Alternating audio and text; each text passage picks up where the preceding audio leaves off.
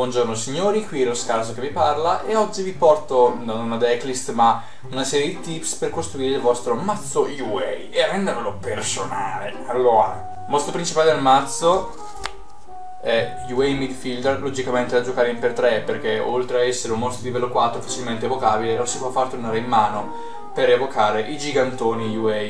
Poi logicamente giocheremo il 3x di UA, lanciatore perfetto o perfect ace perché durante il turno dell'avversario, una volta per turno, puoi scartare una carta per negare l'attivazione di un effetto e distruggere quella carta.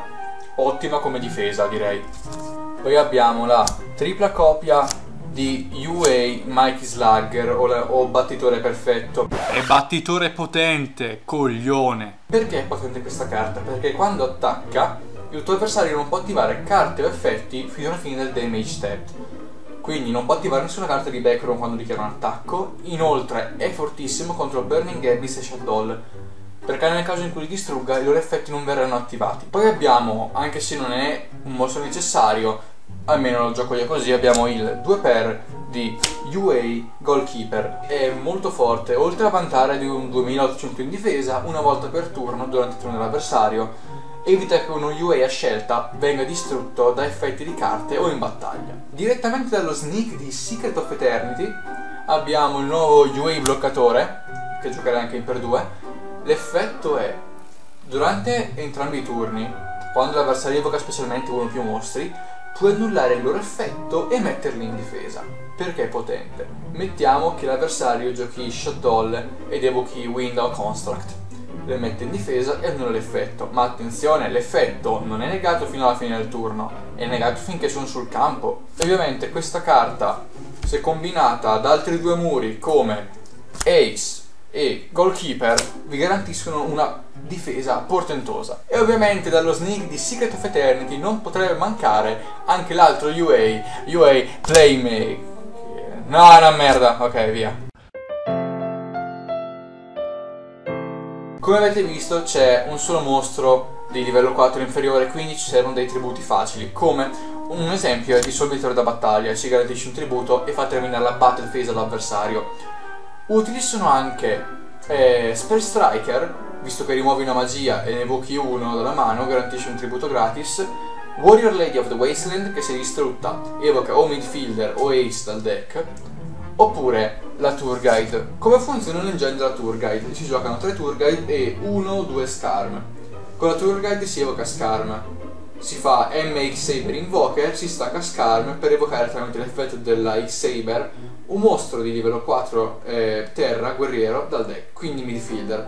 E avendo un midfielder in campo possiamo farlo tornare in mano per evocare gli altri UA. Poi ovviamente il 3x di UA Stadium, perché questa carta è veramente potente quando evochi normalmente uno U8 ne fa searchare un altro e quando lo evochi specialmente fa guadagnare a tutti i mostri controlli permanentemente, quindi anche se vendi sotto lo stadium l'aumento rimane, 500 d'attacco. Ovviamente l'effetto di aumentare l'attacco una sola volta per turno. Poi abbiamo anche il 2 barra 3 per, anche se lo gioco in 3 di terraforming, perché lo stadium è la, la carta forse più potente del mazzo insieme a midfielder e ci serve il prima possibile al massimo, nel caso in cui vi rimanga un terzo stadium in mano, eh, potrete semplicemente scartarlo per l'effetto di Ace. Quindi non è un problema avercene tre.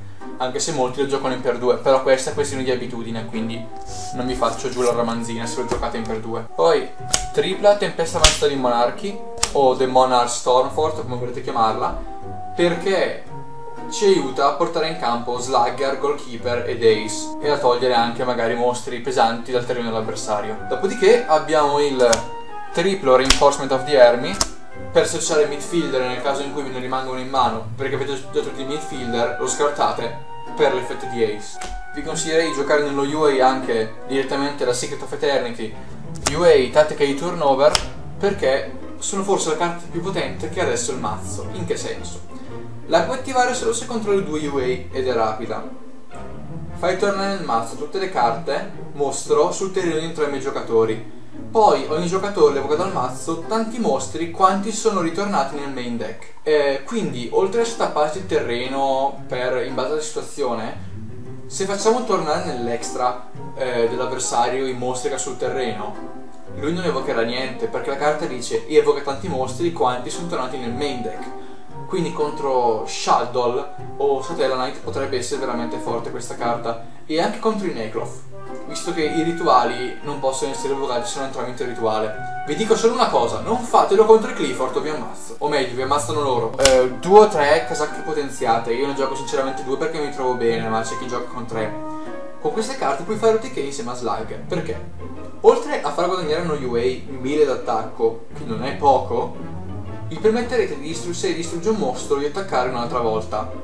E i danni da battaglia che infligge contro i mostri sono raddoppiati, quindi se l'avversario ha due mostri in attacco con 1200 meno e voi slugger con la jersey, avrete vinto. Poi, per scelta, e per contrastare più che altro i mazzi attuali, gioco il Trionti Grave con lo UA, ovvero Macrocosmo, Soul Drain e Spaccatura Dimensionale. In particolare spaccatore dimensionale eh, è utile contro Shadow e Burning Abyss insieme a Macrocosmo visto che li rimuove. Macrocosmo poi è inoltre utile contro i Pendulum perché al posto che mandarli nell'extra li rimuove dal gioco perché riscrive in qualche modo le loro meccaniche. E sempre da Secret of Eternity un'altra carta che veramente potrebbe diventare potentissima in questo mazzo, ovvero Dispetto degli Gnomi. Cosa fa? Ha un effetto simile alla Breakthrough, nel senso se la utilizzi puoi poi rimuoverla dal cimitero per riutilizzarla. Solamente che questa, a differenza della Breakthrough Skill, la si può usare nel turno in cui la si manda al cimitero. L'effetto è...